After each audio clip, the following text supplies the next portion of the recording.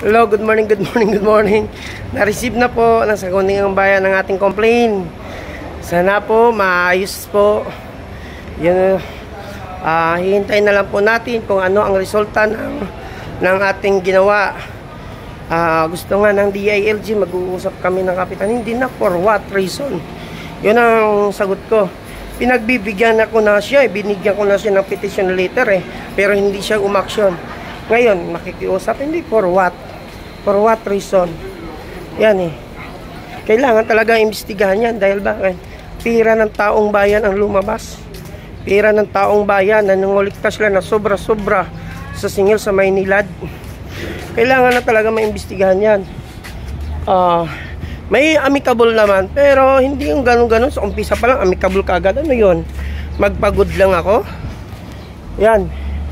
Ah... Uh, hindi to basta-basta eh talagang lalaban na lalaban.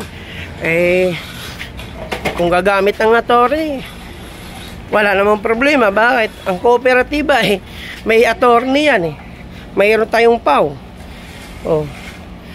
Hindi na kailangan tayong gumamit ng attorney dahil alam naman natin ang mga proseso.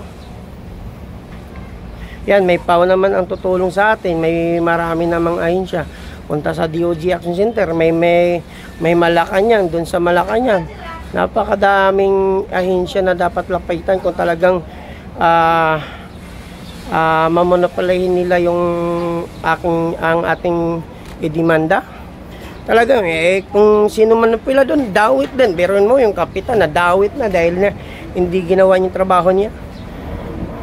Yan po salamat po sa panonood. Ka Buhay TV Uh, don't forget, subscribe upang malaman nyo saan makakarating ang reklamo ni Kahanap Buhay. Ang laban to para sa, sa, sa buong bayan ng Waterfield para may tama ang pagkakamali ng barangay, may tama ang pagkakamali ng homeowners, opisyalis. Kaya lumaban si Kanap Buhay para sa buong bayan ng buong Waterfield. Salamat po, bye-bye!